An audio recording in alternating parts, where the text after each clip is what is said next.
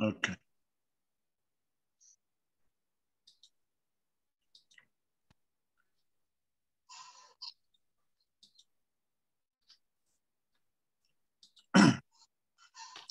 Buenas noches, eh, colegas. Buenas noches, Eduardo. Hoy vamos a hablar del, eh, bueno, la última clase de este primer módulo. Vamos a hablar del Plan Anual de Calidad en Salud. Esto ya es consecuencia lógica de lo que ya hemos hablado del ciclo de PEVA, hemos ido hablando de indicadores, hemos ido hablando de la normativa. Entonces, tenemos los insumos necesarios para pues, poder hablar de un plan anual de calidad de salud una vez que hemos hecho un diagnóstico situacional de nuestro establecimiento de salud. Pues si no, ¿de dónde voy a sacar el objetivo al cual tengo que llegar, mis objetivos específicos, mis indicadores de medición para llegar a esos objetivos específicos, mis metas y obviamente los procedimientos para los cuales voy a llegar a esas metas. Entonces, de eso se trata el Plan Anual de Calidad en Salud. El marco legal, que ya hemos visto las dos primeras clases de este módulo, está el artículo 5 de la ley 3131, de su decreto reglamentario 28562, que habla de la gestión de calidad, que dice que la gestión de calidad de los servicios de salud es inexcusable para los médicos en los establecimientos del Sistema Nacional de Salud en sus tres subsistemas, su sistema público, seguridad a corto plazo y, y privado sin y con fines de lucro. Está la constitución política del Estado, están las normas del PRONAX en el manual de evaluación y acreditación, en el estándar de gestión de calidad, bajo resolución ministerial 0090 del 26 de febrero del 2008, Está el Plan Departamental de Salud, en el caso de Chuquisaca, está el Decreto Ley del Código de Salud del 78, está el Reglamento General de Hospitales en su artículo 32, que habla de los manuales normativos, que todo hospital debe elaborar los documentos. Dentro de ellos está el inciso F, el Manual de Gestión de Calidad. El Plan Anual de Calidad en Salud eh, vamos a tomar como matriz es la, matriz FODA o DAFO, como quieran llamarle. Vamos a tener una, clase exclusivamente de la elaboración de la matriz FODA o DAFO. Por ejemplo, eh, son ejemplos de, factores internos en fortalezas, ¿no? Establecimiento de salud de primer y segundo nivel acreditados como compromiso de la gestión municipal a nivel de los DIMUSAS, direcciones municipales de salud, en este caso de Sucre, comités de calidad conformados con la, la coordinación de red de hospitales, gestores de calidad designados a nivel distrital y hospitales capacitados en la PRONAX, bueno, perdón, no, es en la PRONAX, es la PRONAX, hospitales con manual programas de gestión de calidad, etc. Son ejemplos de fortalezas para llevar un, plan anual de calidad de una red o de un, de eh, sedes que se va a extrapolar también a nivel de los establecimientos de salud. Hay debilidades, por ejemplo, altas direcciones de instituciones y hospitales que no priorizan la gestión de calidad. Hay muchos directores que no entienden y no van a priorizar la gestión de calidad en salud. Tenemos hospitales de segundo y tercer nivel que no están acreditados no se ha acreditado ni el 2020 ni creo que el 21 por la emergencia sanitaria del SARS-CoV-2. Obviamente sí se han debido habilitar. No se realiza una vigilancia activa de los problemas, quejas, sugerencias de los pacientes por este problema que acabo de decirles. No se implementa estrategias de mejora continua con los resultados de auditorías, autoevaluaciones en los hospitales y redes de salud deficiente aplicación de procesos y protocolos de atención en servicios. Los factores internos dependen de nosotros el que los podamos modificar. En un eh, análisis FODA, las fortalezas y los las debilidades se deben a los factores internos, factores inherentes a la institución o al establecimiento de salud. Pero ahora vamos a dar los factores externos que ya no dependen el poderlos modificar, pero sí adaptar para poder disminuir las amenazas y aumentar las oportunidades. Dentro de las oportunidades, por ejemplo, hay alianzas estratégicas con las universidades, con el defensor del pueblo, en el caso de los defensores del paciente, gestión entre las direcciones municipales de salud para asignación de recursos, equipamiento, que por la ley de, eh, de autonomías sabemos que todo lo que es primer nivel y segundo nivel de atención se debe a los gobiernos municipales, los terceros niveles a los sedes y los cuartos niveles donde hubiese recién a nivel del Ministerio de Salud directamente. En amenazas, uso de las quejas de los pacientes como desprestigio institucional y los programas del SUS en los medios de comunicación, incremento de demanda de pacientes de otros departamentos en la implementación del SUS. No depende de nosotros la implementación del SUS, es a nivel central, pero podemos contribuir a que se implemente mayor establecimiento de salud desde el SEDES o desde el gobierno municipal. una vez que se hace un análisis FODA, como factores internos y externos, esto lo hacen con el personal de salud por servicio, puede salir una lluvia de ideas y de ahí sistematizarlas, entonces ver qué factores y demás se tienen con grupos de trabajo. Hay otros métodos, el pareto, el esqueleto pescado, ¿no? que eso lo vamos a ver como instrumentos de forma de hacer. Uno, el diagnóstico situacional y otros instrumentos es análisis de los problemas planteados en un diagnóstico situacional. Dentro de eso tenemos eh, algunas actividades para ejecutar. Por ejemplo, con los comités de gestión de calidad, trabajar con los comités en la vigilancia de quejas, en la mejora continua, en el enfoque de procesos, en las autoevaluaciones, en monitorear eh, la calidad, por ejemplo, a través de los ciclos cortos de calidad, y en cada nivel de comité, por ejemplo, el comité de farmacia terapéutica, la auditoría de recetas, trabajará el uso racional de los antibióticos, eh, habrá una monitorización de reacciones adversas, el de fármaco terapéutica, el fármaco vigilancia, trabajará por la calidad de la medicación, a pesar que dentro del SUS está el, el INAME, está la ley del medicamento, etcétera. Dentro de los comités de auditoría médica, en realidad auditoría en salud, el objetivo será la mejora continua del manejo del expediente clínico, el buen diligenciamiento del expediente clínico, auditorías médicas. Dentro del comité de referencia será el monitoreo del sistema de referencia en el primer nivel. El de vigilancia epidemiológica es donde más trabajo ha tenido ahora, aparte de las CIAS, todo lo que ha sido la emergencia sanitaria por el COVID-19. Los de vigilancia epidemiológica han trabajado en bioseguridad para que el personal de salud tenga los equipos de protección necesarios. Ahora se está trabajando en la vacunación masiva. El de IAS obviamente ha trabajado común porque es una infección, está dentro de las infecciones hospitalarias, aunque es una pandemia. El de manejo de residuos sólidos con mayor cuidado, las bolsas rojas para elementos biológicos, las negras para comunes, las azules para elementos eh, especiales. Se ha tenido mayor cuidado, sobre todo en las salas COVID y salas de terapia en COVID. Segundo, una vez que se tiene el diagnóstico situacional a través de un análisis FODA, una vez que se ha planteado qué actividades vamos a realizar, planteamos las estrategias para dar el cumplimiento de estas actividades y las metas que nos pongamos. Por ejemplo, una estrategia es establecer estrategias y acciones desde gestión de calidad para la implementación en la, red de salud 1 en Sucre como ejemplo para contribuir en la mejora de calidad de atención en salud a los usuarios externos e internos que son beneficiarios de los seguros públicos y población en general.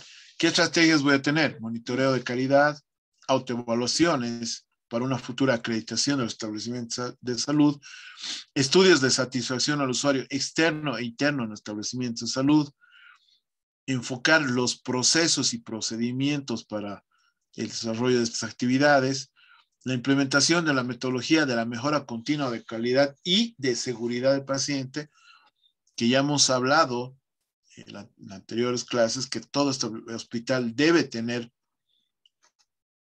un plan de mejora continua de calidad y seguridad del paciente del establecimiento de salud.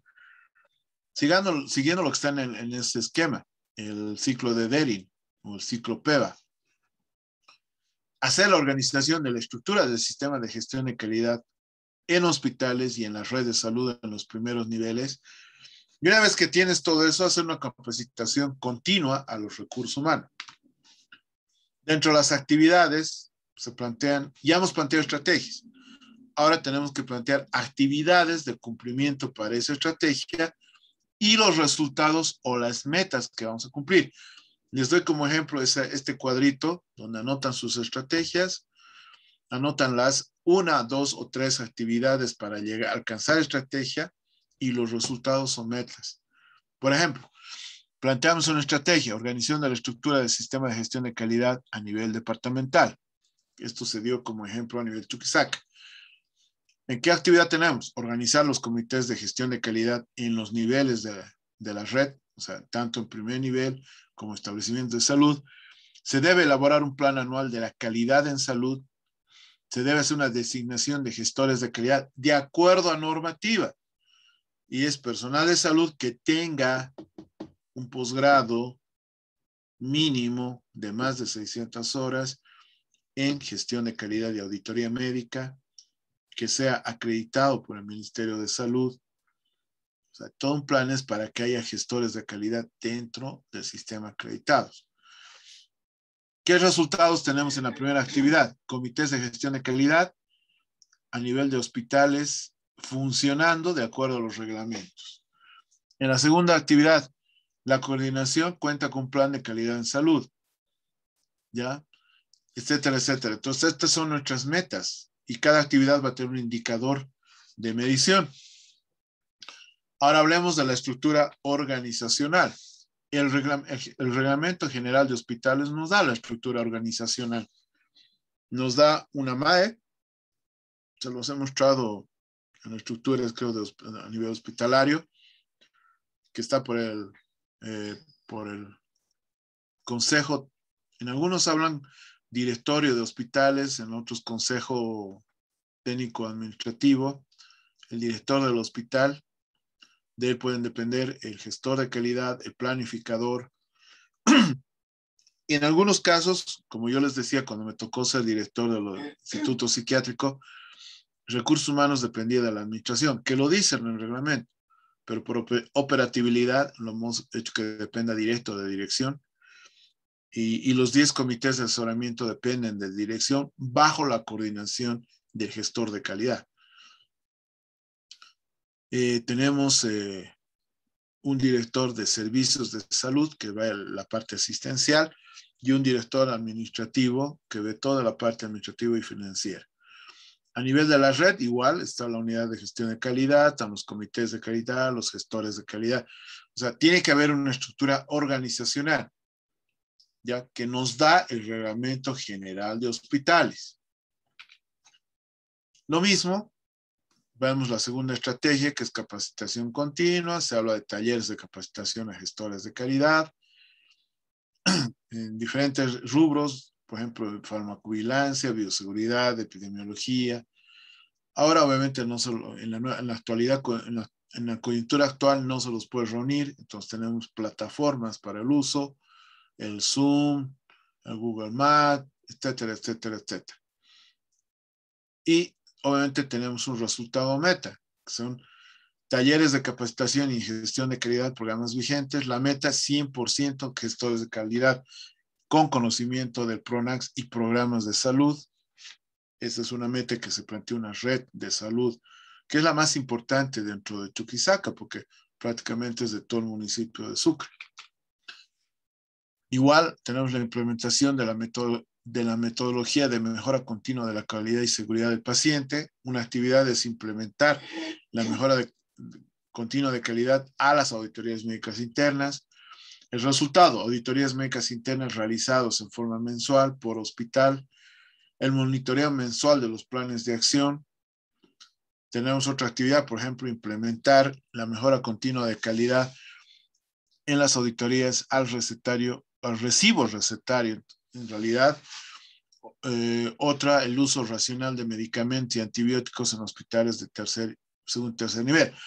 ¿Cuál es la meta? 15 auditorías de receta en forma mensual con un porcentaje de cumplimiento de criterios de la buena práctica de, prescripción y dispensación. Deberíamos poner administración también, ¿no? Por enfermería, porque muchas veces eh, pueden no tomar las reacciones eh, que se pueda tener algún antibiótico. Eh, la meta, el cumplimiento de los criterios, más del 90% de auditorías de receta. Entonces, esa es la manera, sigue el cuadrito, la estrategia, las actividades y el resultado y meta. Ahora hablemos de la estrategia de calidad utilizando el ciclo de Dering o el ciclo PEVA que hemos hablado el anterior eh, eh, miércoles en forma detallada. Entonces, el ciclo de Denning o el ciclo PEVA, porque es planificación, ejecución verificación y actuar, habíamos dicho que la planificación es el diagnóstico situacional, la selección de los problemas, la priorización de los problemas, hacer un análisis de causa y efecto, definimos los estándares, primero definimos el objetivo, después definimos el estándar, hacemos otro cuadrito que en sus tesis les sirve, hacemos el concepto del estándar, su indicador de medición, su escala de medición y, y la meta que me propongo alcanzar. La ejecución, o sea, ejecutar, es elaborar líneas de base, puede haber un llenado mensual de hoja de monitoreo, las hojas de auditoría médica, los formularios de autoevaluación para una futura acreditación son las hojas de monitoreo mensual, por si acaso se define el plan de acción. En la verificación vemos el monitoreo mensual si hemos cumplido nuestra meta del indicador o no. Y se grafica el monitoreo mensualmente en base a histogramas o en base a las curvas. Se hace un cuadro de resumen de los resultados del plan de acción y obviamente se ver informes. Y en el actuar se mide el impacto de los ciclos de mejora continua mediante los gráficos. Obviamente, primero vamos a proyectar si hemos alcanzado la meta de ese mes. No pretendamos que en enero y febrero llegar al 80 o 90% que vamos a llegar en diciembre. Pero sí tenemos que haber avanzado, no sé, un 20% mejor que el que estaba inicialmente. Y si no lo hemos hecho, ¿por qué no lo hicimos? Y replanteamos el proyecto. Por eso se llama ciclo. En cualquier momento se puede parar y replantear. Y nos sirve para la toma de decisiones. Ahí, por ejemplo, está un histograma, o sea, una gráfica de eh, razones de las conformidades en auditorías médicas internas. Están los hospitales, están cuántas conformidades, porcentaje de cuántas conformidades han llegado en, en sus auditorías de ese mes, y se hace una comparación, bueno, en los diferentes hospitales. ¿Ya? Se hace un plan de acción correctiva después de este análisis de los indicadores, como está ahí, ¿no? Conclusiones, conformidades, se observa que el expediente clínico de los tratamientos y demás, y se hace una actividad, se hacen los responsables, se hace el cronograma y se hace la meta. Este es un plan de acción correctiva de una auditoría X. Se hace el uso racional de los medicamentos, es otro criterio, otro estándar. Se ve las auditorías de recetas, se ve la dosificación, ¿no? Y se ve que no se haya ido a la citromicina, al imepemnen, al, a la amoxicilina ácido clavulánico, etcétera, si no hemos agotado los de primera línea. Obviamente, mm, tratar de que no sean eh, tratamientos empírico, sino con respaldo de resultados de antibiograma, de cultivo y antibiograma a nivel laboratorial, sobre todo en hospitales de tercer nivel, que tenemos esos recursos. Y ahí vemos cuánto se ha hecho en enero y se ha llegado al 76% en diciembre. Y si nuestro estándar estaba el 75%, lo hemos cumplido. Si estaba el 80%, no lo hemos cumplido, falta 4, pero hay que ver por qué. Pero esto se hace una evaluación mensual, por eso se habla de ciclos cortos de, de calidad, o sea, de una evaluación continua. Ahí está el enfoque de procesos de gestión, la actividad y la meta. Entonces, cada estrategia tiene sus actividades su actividad y la meta de resolución. Ahora, tenemos que saber trabajar el mapa de procesos. Por ejemplo, en este, en este ejemplo de cualquier hospital, tenemos un proceso de gestión estratégica, tenemos los procesos de apoyo, ¿ya? Vamos a partir por las necesidades de expectativas del paciente y vamos a terminar para lograr la satisfacción del usuario. Tenemos los procesos de atención omisional, o sea, el por qué está un hospital. Por ejemplo, Santa Bárbara, que es lo que vamos a ver en este mapa de procesos. ¿Qué servicios tiene? Emergencias, los servicios de hospitalización, cirugía, terapia intensiva, consulta externa, laboratorio, farmacia y, de diagnóstico de laboratorio e imagenología. El paciente va a ingresar para tener la atención de estos procesos con la expectativa de ser curado. Por eso podemos hacer estudio de percepción del paciente. Nunca se debe hacer el estudio de satisfacción al usuario acá que está en fichaje. Ese es otro error que se comete. Se llenan las encuestas acá. Se tendría que llenar las encuestas al salir del consultorio porque ese es el verdadero estudio de satisfacción al usuario. Ciertos bancos, cuando son atendidos, tienen una, un tablero electrónico pequeño que le puede poner si, si ha sido bien atendido, medianamente atendido, pésimamente atendido. Y, y le dicen, por favor, llénemelo cómo ha sido atendido. Mide la satisfacción del usuario. En algunos hospitales, como en el gineco obstétrico, hemos utilizado las caritas.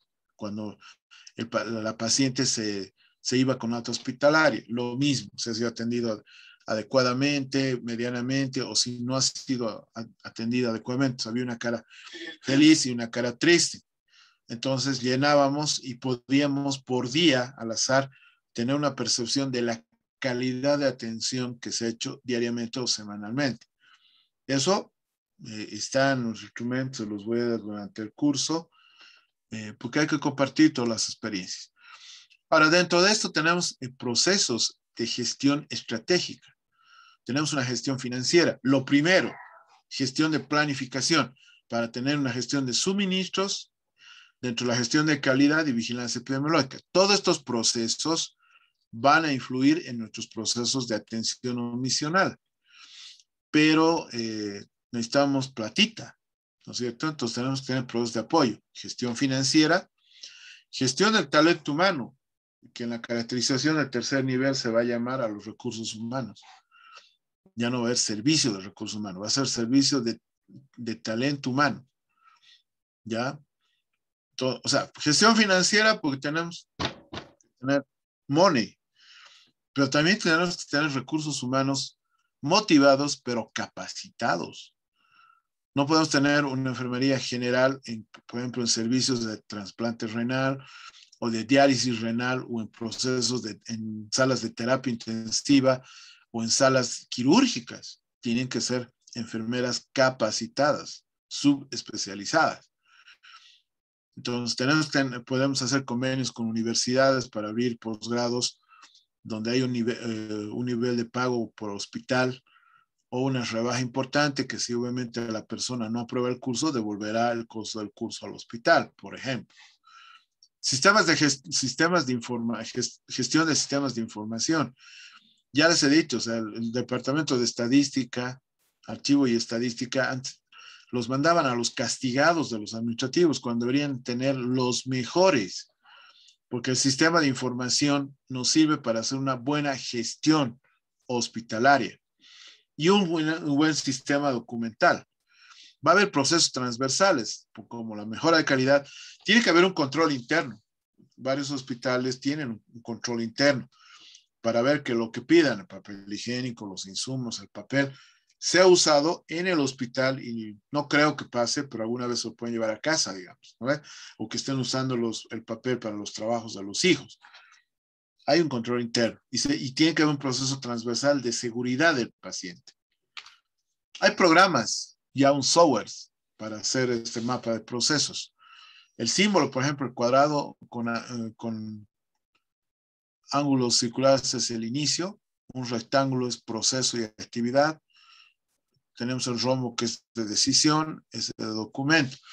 Hay softwares donde ustedes ya pueden poner el proceso, les va a hablar de la estructura, que es normalmente la normativa, el proceso, flujograma, el resultado que pensamos tener y los responsables.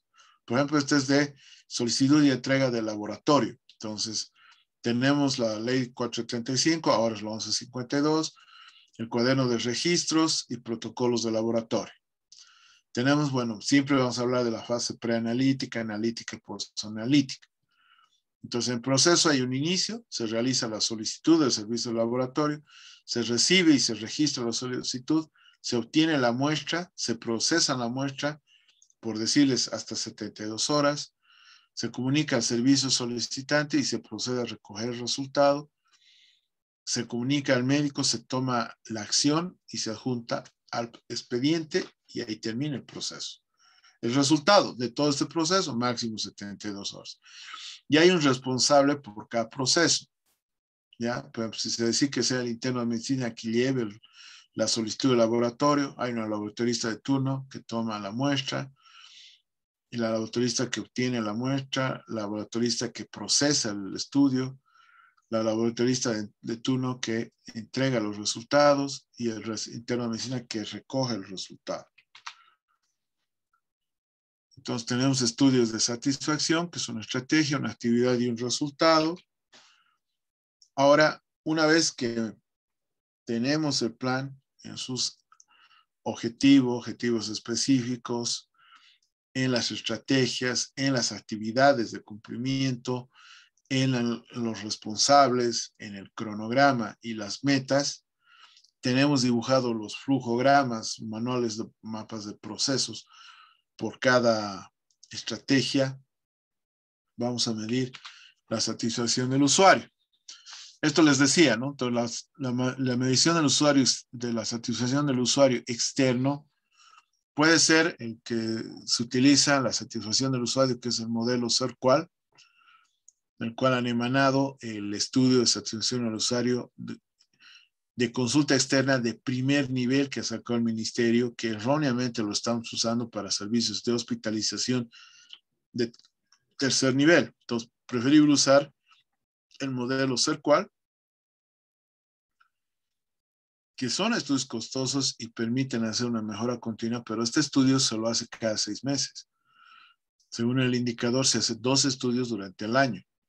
Podemos tener el buzón de quejas, reclamos y sugerencias. Es una herramienta pasiva, se hace una apertura mensual y es una de escasa utilización, no hay requerimiento personal. Tenemos encuestas rápidas para problemas urgentes, lo de las caritas felices y tristes.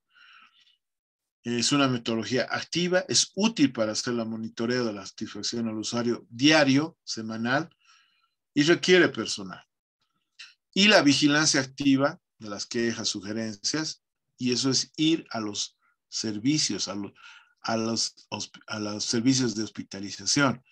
Por eso no puede haber un gestor de calidad de escritorio. Tiene que hacer visitas, tiene que hablar con los pacientes, tiene que tener actividad en los servicios de salud, en las salas de hospitalización. Es útil para monitorear, intervenir a tiempo real quejas de problemas, Obviamente requiere más personal y tiempo de recursos humanos y autoridades que no permite realizar una mejora continua. ¿ya? Son los diferentes métodos para hacer estudios de satisfacción al usuario. Tenemos otras estrategias, las autoevaluaciones para una futura acreditación, control y seguimiento. Se puede hacer autoevaluaciones en, en servicios de primer nivel, autoevaluaciones entre segundo y tercer nivel, proponer heteroevaluaciones una vez que las autoevaluaciones han superado el 95% y se puede plantear acreditación de establecimientos de salud de primer nivel y se hace un control y seguimiento interno a los establecimientos de salud que ya están acreditados. Ahí se ven los parámetros que, de, los que han llegado en los diferentes servicios en sus autoevaluaciones. Por ejemplo, en este hospital eh, se tendría imagenología, farmacia y cerquita medicina transfusional que pudieran ser acreditados, pero sabes que no se acreditan los servicios, se acreditan los establecimientos de salud. Y para eso sus servicios tienen que haber superado el 95%. Monitoría de calidad en establecimientos de salud, los informes hospitalarios, informes mensuales, talleres de evaluación, etc. Entonces, también tenemos la gestión gerencial hospitalaria, que es el forjeo. Ese es el documento con resolución ministerial del 5 de diciembre del 2006, número 854. Es un reto para la gestión gerencial, medir procesos y resultados que están directamente relacionados con la calidad de atención otorgada para analizar causas, consecuencias y tomar medidas de carácter correctivo. Este forjeo o, este sistema de gestión hospitalaria, hay sistemas interrelacionados. Hay un primer sistema que es el sistema de gestión institucional que coordina actividades con el sistema de gestión de calidad y que esta a su vez coordina con el sistema de gestión administrativo y financiero. Dentro de la gestión gerencial que da el forjeo, tenemos un sistema de gestión administrativa y financiera, tenemos la CIAF y la SAFCO. Tenemos un sistema de gestión institucional, que están las políticas hospitalarias, planificaciones estratégicas, PIs, y los POA, los programación operativa anual. Dentro del sistema de gestión de calidad estará la acreditación, están los modelos de gestión gerencial, el mejoramiento continuo de la calidad a través de comités, de reglamentos, de aplicación de protocolos, decisiones clínicas, de la vigilancia epidemiológica, de auditorías en salud, de analizar sus indicadores, del sistema de referencia y contrarreferencia, de los modelos de gestión de urgencia, de consulta externa, etc. Esta es referencia y contrarreferencia que sí decía que si hay 20 referencias, debería haber 20 contrarreferencias. Ya hemos visto en dos clases el SUS y sabemos que puede haber 20 referencias y, y 100 contrarreferencias por una sencilla razón que administrativamente paciente con alta hospitalaria se va con su papeleta de contrarreferencia. Esta gestión, gerencial es una herramienta para la socialización transparencia y rendición de cuentas como actividad institucional.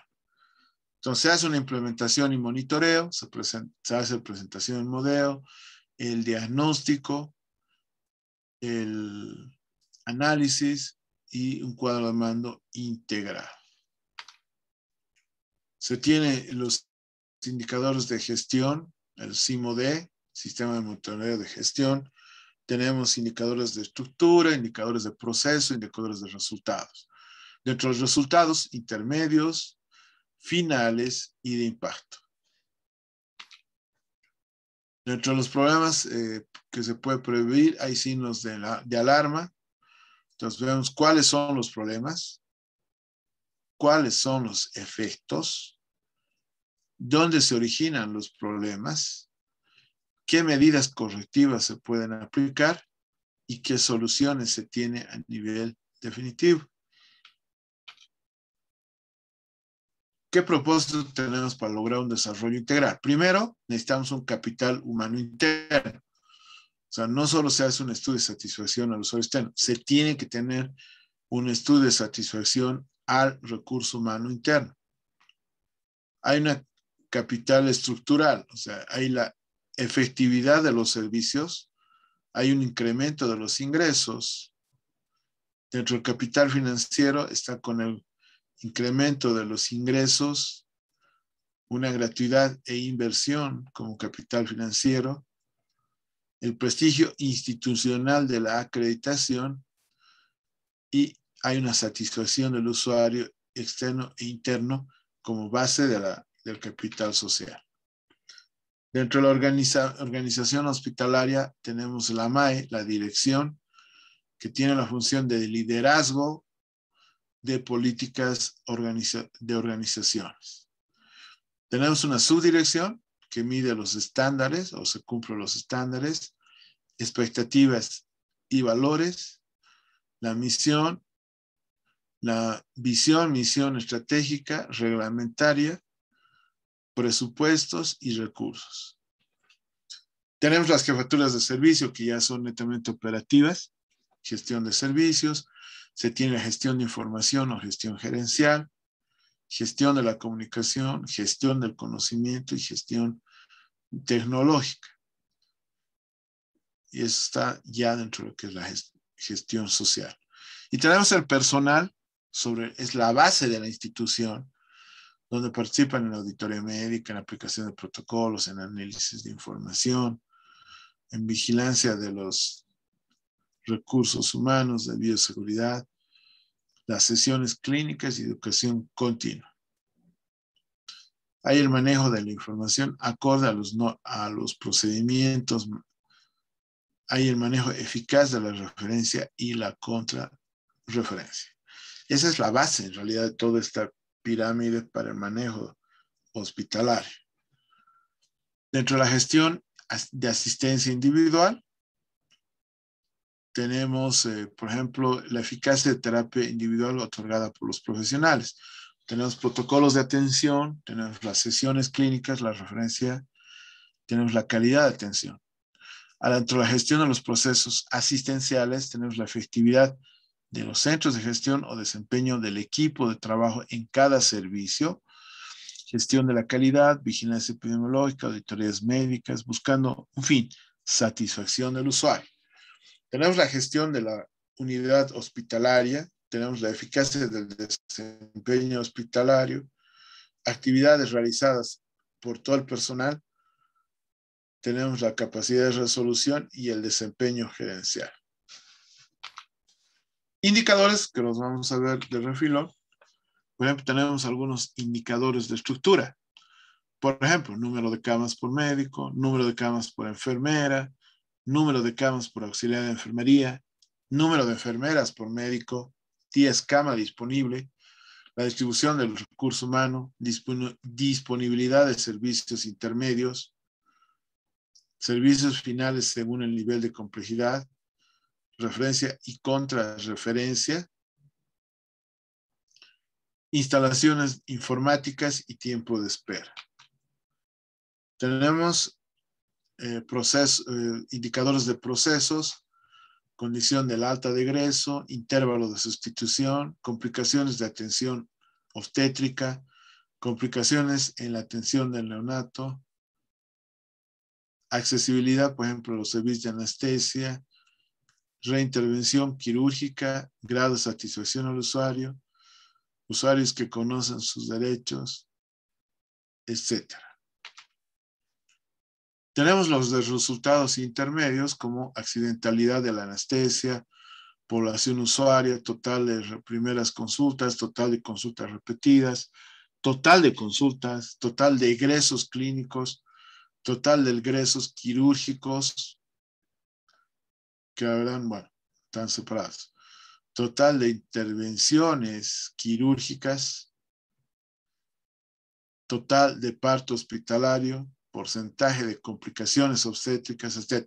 Son ejemplos de indicadores de resultados intermedios, de resultados finales, por ejemplo, condición del alta al egreso, intervalo de sustitución, complicaciones en la atención obstétrica, complicaciones en la atención del neonato, gestión de esterilización, accidentalidad en anestesia, reintervenciones quirúrgicas, grado de satisfacción al usuario, usuarios que conocen sus derechos, estancia promedio, prevalencia de infecciones e infecciones intrahospitalares.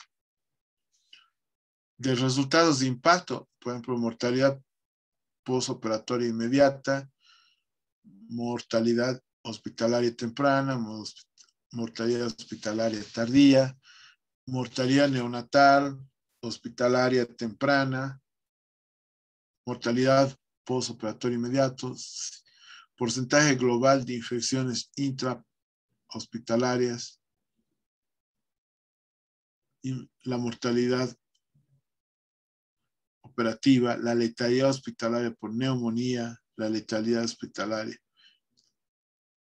la mortalidad materna hospitalaria, mortalidad neonatal hospitalaria, la mortalidad neonatal hospitalaria temprana, etcétera. ¿Es efectiva la gestión hospitalaria midiendo todos esos parámetros? Hay una gestión sostenible, hay una acreditación gradual, hay un mejoramiento continuo de la calidad, disponibilidad adecuada de recursos humanos, liderazgo y políticas de gestión, eh, disponibilidad y la aplicación de normativas técnicas, funcionamiento de la estructura organizativa, renovación tecnológica, aplicación de la ley SAPCO y sus reglamentos, márgenes de seguridad, etc. Por ejemplo, hay indicadores de evaluación. Antes de la pandemia, número de establecimientos de salud acreditados, número de establecimientos de autoevaluación de estándares de calidad, porcentaje de cumplimientos de estándares en la autoevaluación por servicios hospitalarios, porcentaje de establecimientos acreditados en gestiones anteriores que fueron controladas y realizadas con su seguimiento, número de estrategias de mejora continua implementadas en hospitales, número de procesos de gestión y atención elaborados, evaluados y modificados, porcentaje de quejas y reclamos solucionados de forma oportuna en los hospitales de segundo y tercer nivel. Se debe socializar estos resultados a través de boletines hospitalarios, de revistas, de publicaciones al personal de salud para tener una, un feedback, una retroalimentación. Ahí tenemos las vistas hospitalarias, etc. Bueno, hasta ahí sería este último tema. No sé si hay preguntas. A los participantes les invitamos a utilizar el micrófono, por favor, o hacer sus preguntas por chat para que el doctor nos ayude con las respuestas correspondientes.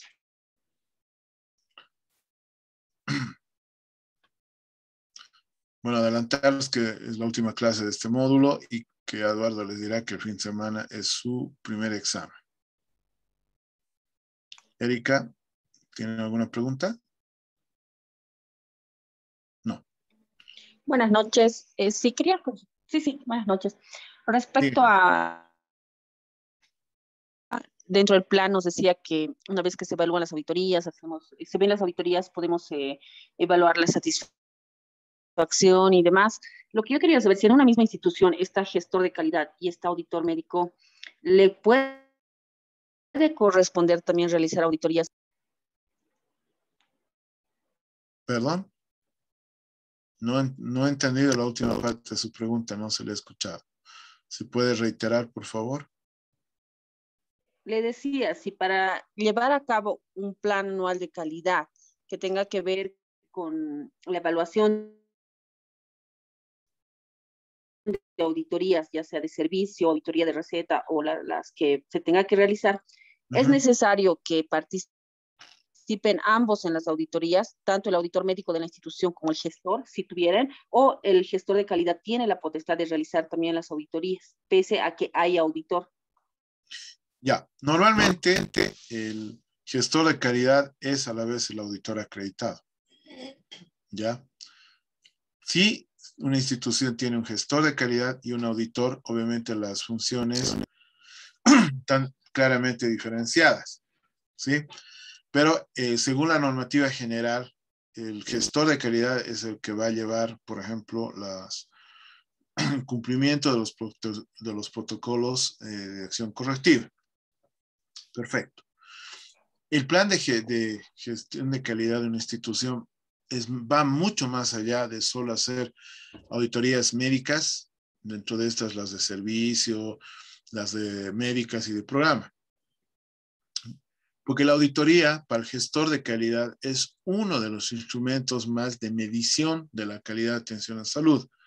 Hemos nombrado las, las autoevaluaciones para una acreditación, hemos nombrado los estudios de satisfacción al usuario, incluso los estudios de satisfacción al usuario a nivel continuo, como en las otras instituciones, eh, puede ser en cada paciente con alta hospitalaria que se haga esa, encuesta cortita, abrir el buzón de quejas y finalmente la observación y el hablar con el paciente. Son los diferentes métodos de medir la acción de, de calidad. Entonces, el que lleva la batuta de todo esto, obviamente está el, el director, ¿no?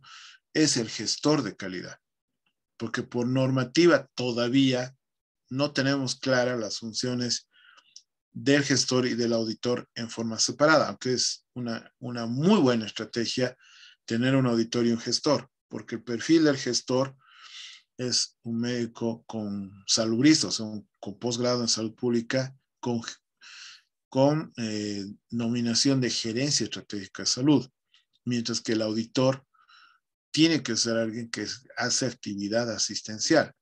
Incluso para ser acreditado tiene que tener 10 años de experiencia en esa actividad.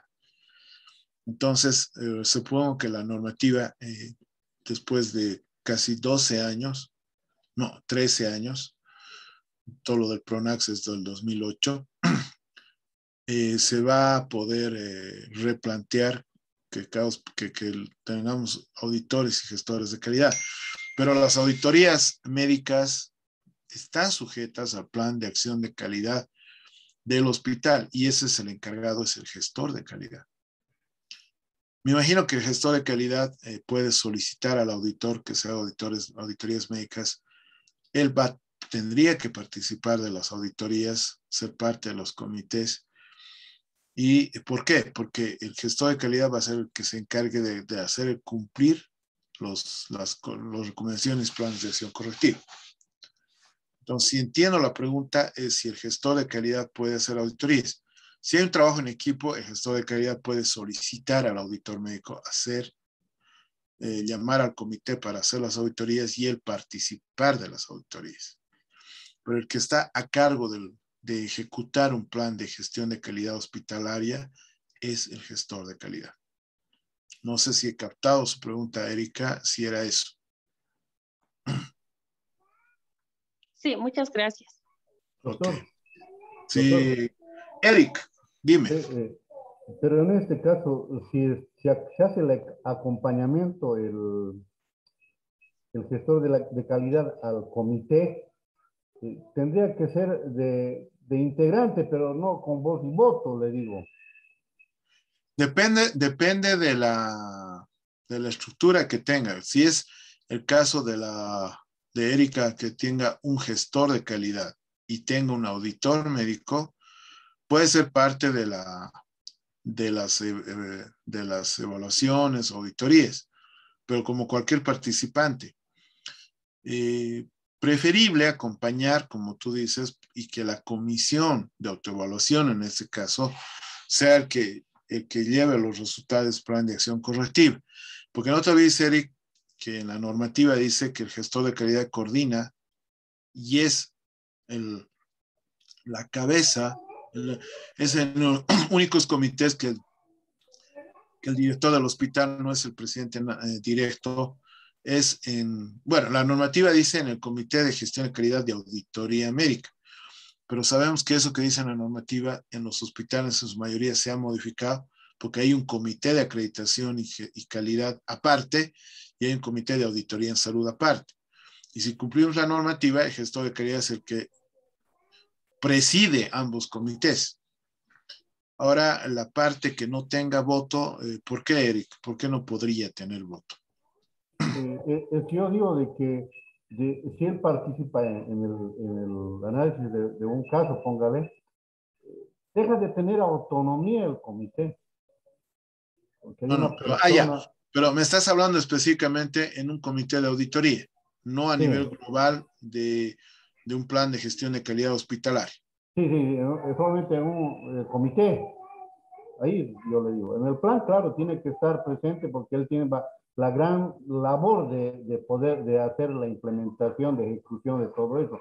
Pero yo le digo de que participe en una auditoría eh, el gestor de, eh, el, el, el, gestor de calidad, no tendría el por qué, yo digo, ¿no? O sea, bajo la, la normativa de... dice que debe participar. Pero, eh, pero obviamente cada comité es autónomo y tiene una propia directiva, que no necesariamente va a ser el gestor de calidad. Ya, ahora sí, gracias, Doc. Ya. ¿Alguna otra pregunta?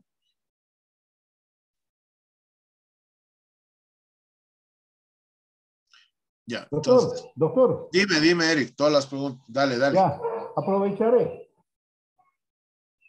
Te escucho. Y, y, bueno, hay, hay, muy pocos eh, del departamento de Panda en este grupo.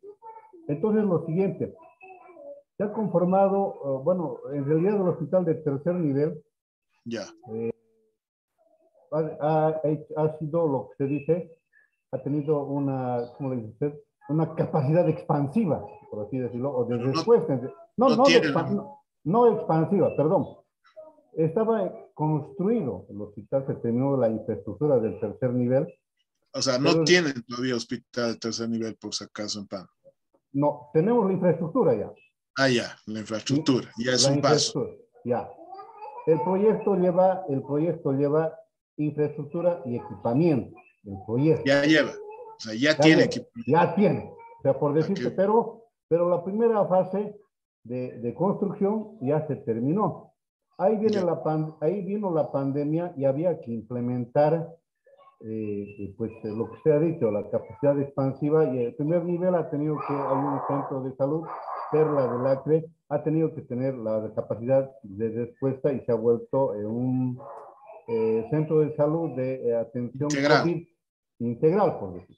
Sí. Pero nos faltaba oxígeno y no había una planta de oxígeno. Entonces, lo único que tenía generador de oxígeno era el hospital de tercer nivel que se estaba empezando, o sea, ya empezar, ya estaba empezando a equiparse.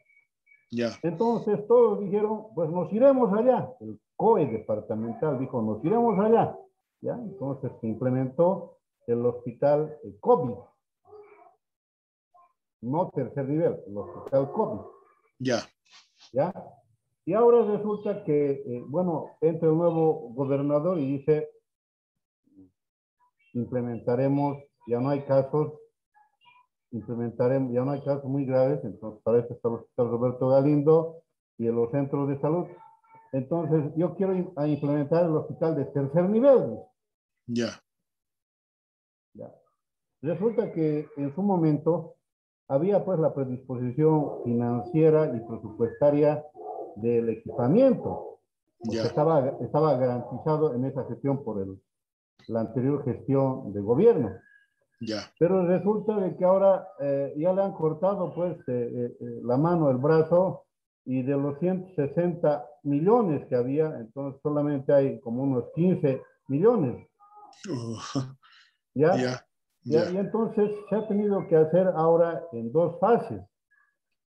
Primera fase, se lleva el tomógrafo, o sea, se ha tenido que priorizar el equipamiento. Bueno, han priorizado equipamiento dos personas que han ido al ministerio. Entonces, esas dos personas han, han priorizado el equipamiento y han hecho el, un tomógrafo, un ecógrafo y otras cosas más con, los, con, el, con el restante de los 10 o 15 millones.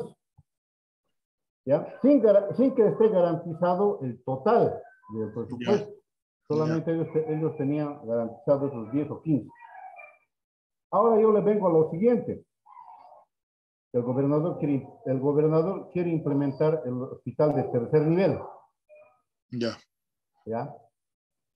Usted ya conoce más o menos el contexto, por eso yo le digo. Eh, y entonces me dice, eh, bueno, el, lo que pasa, yo quiero implementar, y ustedes me, me, tienen que ayudar, ustedes tienen que saber qué voy a hacer. ¿no? Claro, porque el gobernador también es médico, por si acaso. Sí, sí, me escucho. Y entonces resulta de que el CEDES agarra y uh, forma un grupo de profesionales y los manda al hospital de tercer nivel. Y en ese hospital de tercer nivel ya estaban los que anteriormente estaban trabajando como, como COVID, toda la parte administrativa. Hay, hay, hay un administrador, hay un director, uh, hay un eh, biomédico y algunas cosas se quedaron, porque ya la parte asistencial se fue, los médicos y las psiquiatras ya no están ahí.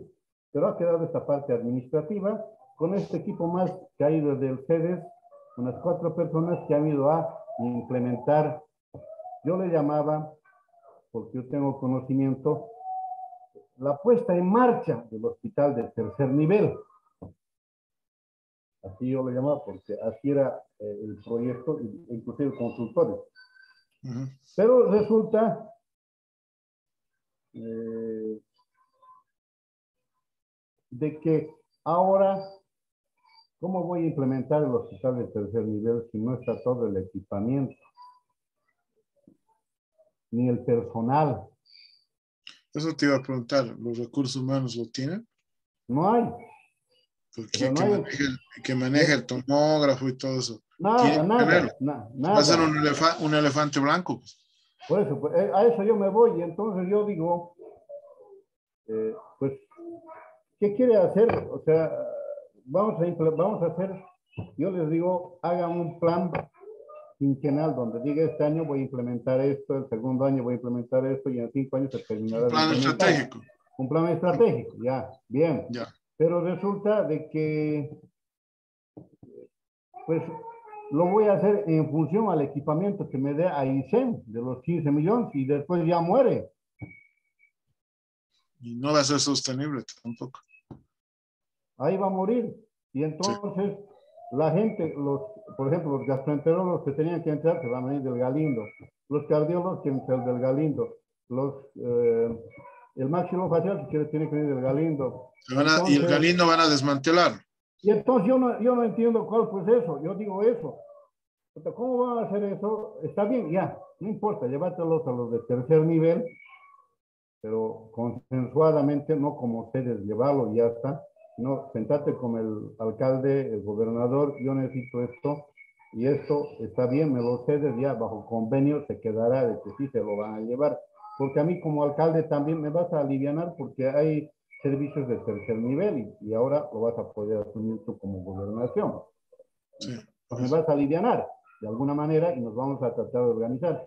Pero la puesta en marcha yo lo veo complicado toda vez de que eh, eh, cómo se tiene que implementar, a eso yo le digo, ya tienen ahora, eh, resulta de que el CEDES pide el perfil epidemiológico para la implementación de la cartera de servicios.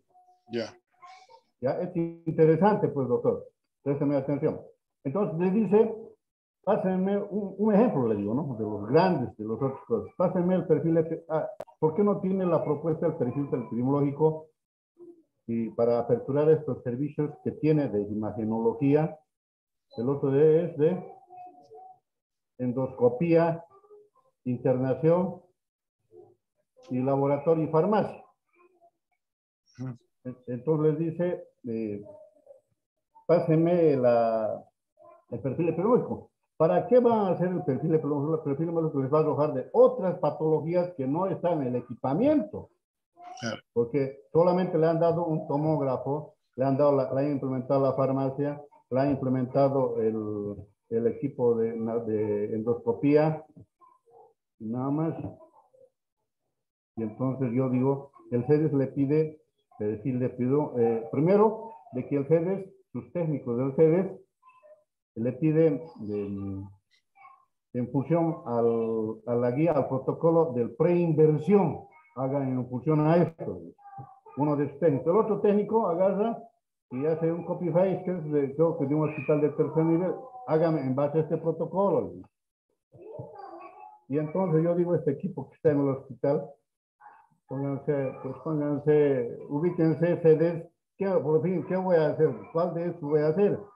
Entonces yo les digo, como dice el expediente clínico, tiene que haber unicidad de Mercedes, qué es lo que van a hacer y cómo lo van a hacer, los criterios por lo menos. Y yo digo, de que no es necesario que yo pida el perfil epidemiológico, doctor, ¿cuál es su percepción en función a esto? Porque, no, pues el perfil epidemiológico ya lo han hecho ellos, lo del, eh, cuando han construido el hospital. Vino una mexicana, doctor, que ella ha hecho en función a un hospital inteligente. Iba a ser un hospital inteligente donde iba a haber ni siquiera los clínicos por escrito, sino todo digitalizado, todo eso pero esa mística se ha ido perdiendo y, ahora quieren hacer un, cuarto donde haya archivos y centros clínicos. Y, a lo de siempre. Lo de siempre, y entonces yo estoy, pues, eh, yo he sido parte de, de, la elaboración del hospital de tercer nivel, por eso que eh, mi preocupación va a eso, y entonces yo digo, ¿cómo van a implementarlo? Eh, calidad del CEDES, ya, se, ya, ya, ya debe darse cuenta. Entonces le dice, tienes que hacer en función de este protocolo, todo. Y yo digo de que tendría que ser, como usted dice, un plan estratégico de cinco años presupuestario, de recursos humanos, todo eso. Pero ni a un mes o dos, yo porque yo me pongo a analizar cómo voy a aperturar el servicio de, por decirte, de endoscopía, tendría que ser 24 horas si voy a tener pacientes internados. ¿Eso qué me, qué me dice? Que tengo que tener cuatro gastroenterólogos. ¿Para cuántos pacientes que van a haber ahí? Uno habrá pues en todo el mes. Los demás, ¿qué van a estar haciendo? Nada. Entonces yo digo, tiene que ser gradual, por eso les decía, eh, debe haber un, un proyecto donde diga, en función a la, a la, cobertura, voy a ir a hacer, este, año, este mes voy a aumentar un médico, un gastroenterólogo, un cardiólogo, después va, empezaré, y en cinco años sí podré estar. Ahora, no es indispensable, pues yo, yo quisiera ahora, ¿cómo se tendría que hacer? Porque ahora la, gestión de calidad, gestión de calidad dice, primero, yo habilito, y mí no vas a habilitar, yo quiero este protocolo. Y entonces yo digo, no tienen que habilitarlo. Habilitar eh, es cuando ya tengas a tu médico, otro, el otro, el otro, cuando ya tengas todo, es tu manual de funciones, recién vas a, vas a habilitar. Ahorita están ustedes en organizarse, en ver todo eso, cómo lo van a hacer. Entonces no tendría que hacer esto y el CES más bien tendría que ayudar en este proceso y no entorpecer ustedes la piedra en el zapato. Eso es, doctor. Ahora va a disculpar a todos mis compañeros. Que ¿Alguna? No, no, no. Pero hay algo, creo que les sirve a todos, por lo menos en, todo lo que es Oriente y en todos los lugares que no hay hospitales de tercer nivel. Lo primero que hay que preguntar, Eric, sería bueno que no saques tu cámara, es específico. Primero, eh, ¿qué, perfil epidemiológico van a construir si en, el, si Pano nunca había un hospital de tercer nivel? Empezaremos por ahí. El Galino lo han vuelto todo un carnaval, o sea, han puesto servicios de tercer nivel para solucionar los problemas de salud. Tenemos, teníamos servicios de neonatología, o de neurocirugía, y no tenían eh, neonatólogos para cubrir todos los turnos de 24 horas. Tenían que ser pediatras y en algún caso hasta médicos generales. Hablemos claro. Entonces, primero, ¿qué perfil epidemiológico se construye en un lugar donde no se ha tenido un hospital de tercer nivel? Primera situación. La cartera de servicios la van a tener que construir la que en base al ministerio les dé en hospitales de tercer nivel eh, qué sé yo, el más cercano, eh, Chuquisaca, que no sea del eje central, que tiene eh, hospitales de tercer nivel, que incluso el Santa Bárbara como tercer nivel no se va a acreditar como tercer nivel por la infraestructura. Ya tenemos nosotros en la Jastambo un hospital de tercer nivel que se, lo, que se quería cometer la misma idea que ustedes han hecho, que se vuelva COVID, pero más bien no se ha llegado a eso. ¿ya? y eh, la infraestructura sigue sus procesos. Creo que no actuó responsablemente a pesar de la emergencia sanitaria. Entonces, lo primero, la, la, cartera de servicios que van a construir ustedes va a ser general y no sé si se pueda implementar y hacer una ingeniería de contrato de recursos humanos con una, con una cartera de servicios modelo que no es, va a estar acorde a, por ejemplo, a la población Cochabamba y La Paz y Santa Cruz que acudan a la que tiene Pando. No, y no estamos plenamente de acuerdo. Entonces, un hospital de tercer nivel que no se conoce su estructura, sí se tiene una infraestructura aparentemente. No sé de qué requerimientos han tenido para hacer el equipamiento. ¿no? No sé si ustedes han tenido que haya 10 o 20 pacientes que, que hagan eh, eh, intervención imagenológica en gastroenterología, RCP, eh, endoscopías. No sé si tienen el dato que van a ir 10 pacientes por día para tener cuántos eh, eh, gastroenterólogos, porque hay promedios, ¿no es cierto? Por ejemplo, terapia intensiva, antes del COVID era 5 y 7 camas por, por médico terapista. En las salas COVID, bueno, creo que se ha reducido a cuatro por la necesidad. Pero es lo mismo eso, o sea, los parámetros de especialidad, un cachito, por requerimiento de, de, pacientes, no sé de dónde lo obtienen si no tienen un perfil epidemiológico, porque es un hospital que recién va a empezar a actuar. Entonces, el perfil epidemiológico se construye de cinco años a diez años anteriores. ¿De dónde? el Roberto Galindo no sirve de referencia para eso porque es un hospital de segundo nivel. Si no tienes construida la estructura dada, o sea, infraestructura, recursos humanos, equipamiento, insumos, farmacia, ¿cómo vas a hacer los procesos? ¿Qué procesos van a cumplir? ¿Y qué resultados? Y obviamente eh, cuidarse un elefante blanco, que ojalá que no, porque es una región que necesita urgente un tercer nivel. Pero estoy muy de acuerdo que hasta el contrato de recursos humanos debería ser gradual. Pero no desmantelemos un hospital que hasta ahora ha sido de choque para tener otro tercero y sea un elefante blanco. Ya, las historias eh, electrónicas, esto que no que se está tratando de implementar en el eje, Obviamente la mexicana que ha ido está totalmente descontextualizada con todo lo capa que debe ser. Puede dar un asesoramiento, pero estamos hablando de uno de los departamentos con población menor al eje central. de hecho, los modelos del eje central no les va a servir. Por más ejemplo que tengas eh, de La Paz, del Alto, de Cochabamba, de Santa Cruz, no sé si incluso el nuestro de Chuquisaca les puede servir. Primero. Segundo, si tu cartera de servicios va a ser la general, ya, con una proyección gradual para trabajar la estructura hospitalaria. Qué bueno que ya tengan la infraestructura, qué bueno que tengan el equipamiento, pero si vas a tener un tomógrafo que nadie lo, lo, lo maneje y que en dos o tres años se termine de arruinar, ¿sí? Por falta de uso, porque hay mantenimiento preventivo, pero los correctivos te lo hacen cuando está en uso. Pero si no hay un, tomografista o dos que tengan que estar de turno para manejar esos tomógrafos, ya eh, dentro de los recursos de un hospital de tercer nivel está bancos de sangre y salas de, por ejemplo, hemoterapia transfusional. ¿Cuántos eh, eh, hematólogos tienen en Pando para trabajo de eso? Entre, el tercer nivel está servicios de diálisis. ¿Cuántos nefrólogos tienen para cubrir las guardias por día, como dice la normativa para nefrología? ¿Cuántos neurocirujanos tienen para cubrir las, las, eh, los turnos? ¿Cuántos emergentólogos tienen para la sala de 24 horas de emergencia? O sea, primero tener un balance de cuántos especialistas tenemos. Yo cuando he ido he visto que había carencia de especialistas. Por eso es que yo aconsejaba porque hay una, había un amigo que X que, que era jubilado de la caja y se ha ido de terapista allá y está súper. Tú sabes quién es, o sea, no, no viene el nombre ahorita. Entonces, eh, hay muchos aspectos.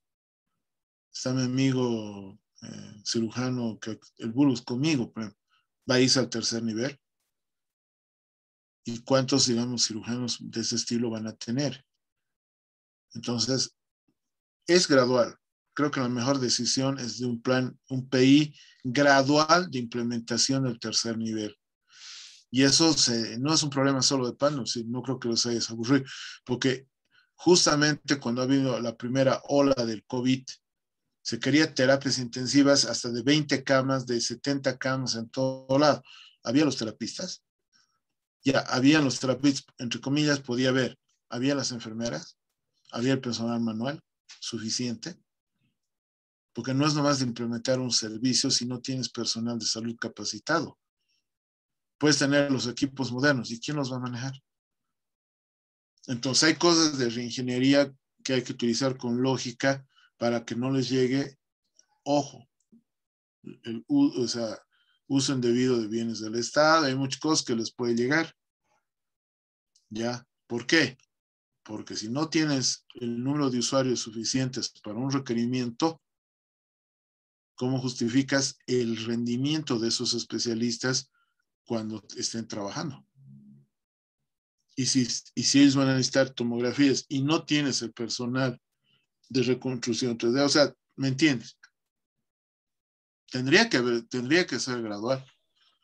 Tendría que ser gradual. Ya, Doc, pero ahora, para empezar, no, no es cuando, como usted me dice, no creo que tengas que tener un perfil de PBO, porque ¿de dónde vas a sacar? No tienen ustedes, de hecho, no tienen. Para tercer nivel, no tienen. Porque ustedes han tenido un hospital de choque de segundo nivel, entre comillas, no sé si puedo decir segundo nivel integral, no sé, quisiéramos llamarle, porque tenían servicios de tercer nivel en un segundo nivel. Ya, pero ahora. Y eso, ya. Pero ahora, podría. ¿Cuál es el paso entonces? Sería de poder eh, solicitar al ministerio que me pueda enviar una cartera de servicio para la implementación del hospital de tercer nivel en el, en el, en el a nivel a nivel global para que ustedes no te olvides que en esa cartera de servicios con el tiempo que vaya pasando ustedes lo van a poder modificar en base por lo menos no perfil epidemiológico pero por lo menos de tener enfermedades más prevalentes por servicio para saber a cuál van a dar.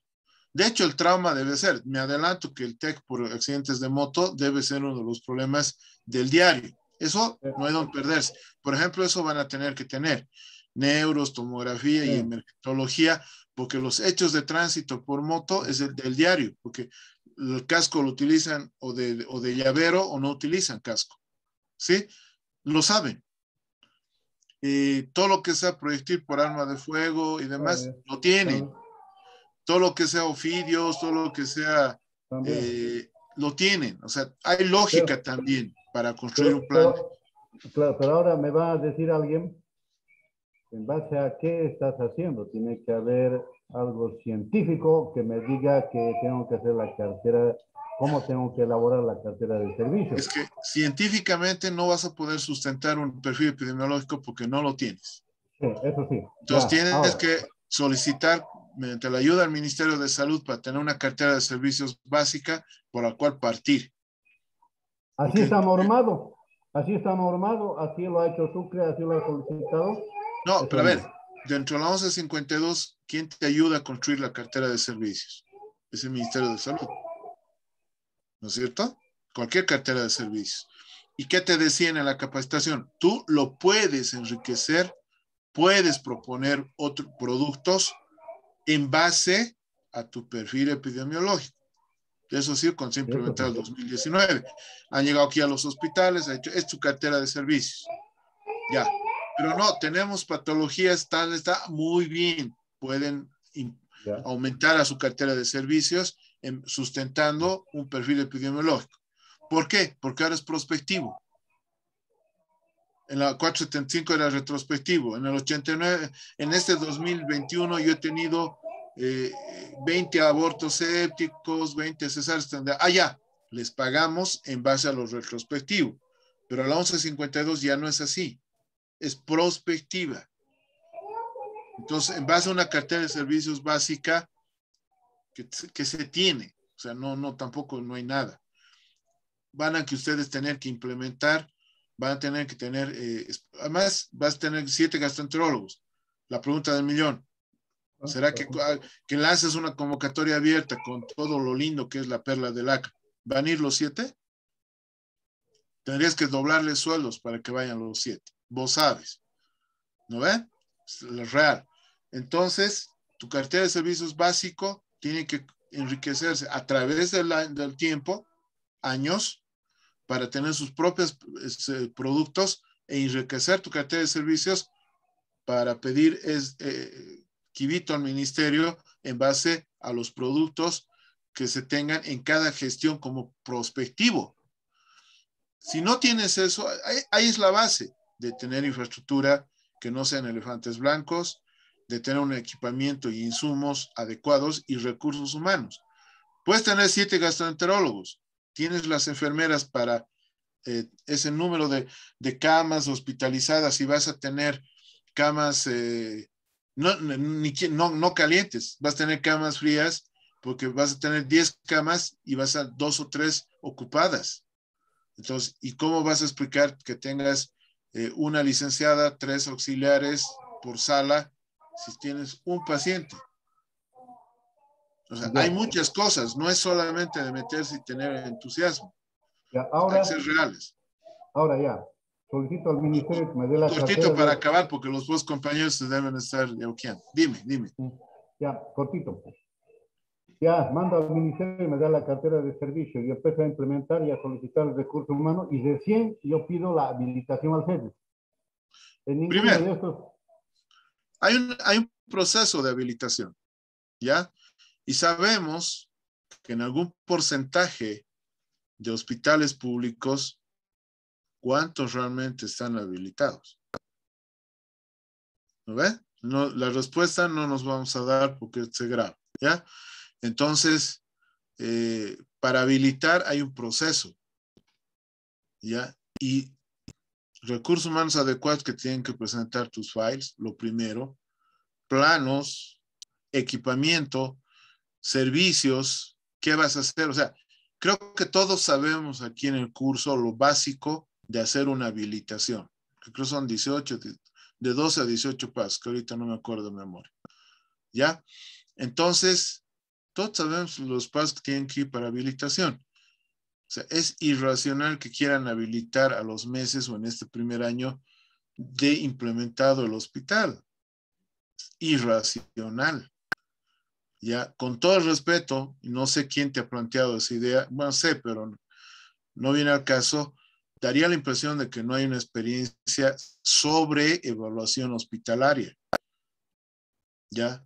Conocer la caracterización de hospitales, que en el tercero no lo tenemos, está en proyecto.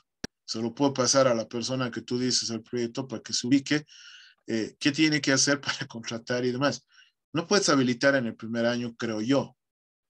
¿Ya? Entonces, eh, lo haremos autoevaluaciones pero para con fines de crecimiento, no de sanción, y menos ahorita olvidarse de habilitación. Hay hospitales que tienen 10 o 20 años que no están habilitados. Ojo, por eso es un obstáculo para quererlos acreditar, que ahora se dan cuenta, ah, ya queremos acreditar. Ah, pero no ha visto habilitado. ¿Quién paga la habilitación además? Así es, porque hay un monto para habilitación. Entonces, no, hablaremos, y colegas, eh, no es una charla entre dos personas, este es el ejemplo que ustedes tienen que saber como gestor de calidad, porque la última clase del curso de aquí a cuatro meses justamente es gerencia hospitalaria, y lo que está hablando Eric es parte de la gerencia hospitalaria, del futuro hospital. ¿No? Entonces, pienso que lo más inteligente y racional, no conozco los detalles, es una implementación gradual, un plan estratégico de implementación gradual, una cartera de servicios básicas que se va a enriquecer gradualmente, recursos humanos con creación de ítems y demás gradualmente, porque no vamos a desmantelar un hospital que, que va a ser el de choque en su momento de segundo, ¿ya? Y eh, obviamente vas a liberar al municipio, porque el segundo nivel depende del municipio de Cobija. Pero generaremos ítems todo gradualmente con gran ayuda y participación del Ministerio de Salud. Ahora, que hay aspectos políticos que se van a encontrar, eso ya no quiero entrar, pero sí van a influir. Pero eh, la implementación tiene que ser gradual. Tiene que ser gradual. ¿En cuánto tiempo? No lo sé, no puedo opinar porque tendría que hacer eh, un estudio profundo de la realidad. Conozco Cobija, he estado cuatro veces ahí, he ido a los hospitales, porque más que hacer turismo me gustaba ir el turismo hospitalario. He estado en un turno dos o un turno que, que, que le ha acompañado a algunos amigos médicos, igual que en Trinidad, igual que en Riberalta, igual que en Rurrenabaque, ¿ya? ¿Por qué? Porque me, me, interesaba conocer realidades, pero no quiere decir que tenga una idea es absoluta de la realidad de salud de Cobija o de Pando, pero pienso que para evitar elefantes blancos tendría que ser implementaciones graduales, porque si vamos a poner aparatos de gastroenterología y vamos a calcular en teoría siete, uh, siete gastroenterólogos que en su turno atiendan dos pacientes, de hecho ya es daño económico al Estado, de hecho los, los, los colegas no van a poder justificar su permanencia porque su, su, una evaluación es la producción. El CICE te pide, te saca producción y te va a sacar cada, cada mes cuántos pacientes has visto. ¿Ya? Entonces creo que debería ser gradual. ¿Ya? Todo lo que hemos hablado, colegas, es funciones de gestión de calidad. Él está hablando de una gestión de calidad de un CEDES pero también pueden estar ustedes de gestores con planificadores para la parte hospitalaria. Creo que eh, no hay más preguntas, o sí las hay. Creo que la hora de, ha hecho que no mucho, pero en realidad no ha sido un diálogo, ha sido un ejercicio real para la aplicación de lo que hemos aprendido en este primer módulo y de lo que vamos a hablar. Justamente su compañero a lo que ha dado el ciclo PEVA se aplicaba de sobremanera, porque si no hay un diagnóstico claro, profundo, no va a haber una planificación adecuada, no va a haber una actuación adecuada, una evaluación y vamos a tener que monitorizar cada vez. Y lo que hemos visto en este tema hoy día, el plan, de, el, el plan de estratégico, que sí vamos a ver la construcción del PI, Además que el ministerio y la, hay una normativa de construcción del PI ahora, mmm, les ha servido como ejercicio. Eduardo, creo que no hay más preguntas, ¿no? Y bueno, nos hemos tendido un poco en la hora. Muchas gracias, doctor, por la práctica en este caso. Es algo para tenerlo de conocimiento para un futuro cercano. Hay lo del examen, ¿no? Sí, doctor, muchas gracias. El examen es este sábado 13 a partir de las 9 de la noche. Son 10 preguntas multiselección que van a poder responder en 60 minutos. El día sábado les vamos a pasar un video indicando cómo se realiza el examen, el link del examen y lógicamente la contraseña para este. Perfecto. Bueno, entonces buenas noches a todos. Muy buenas noches. Que descansen.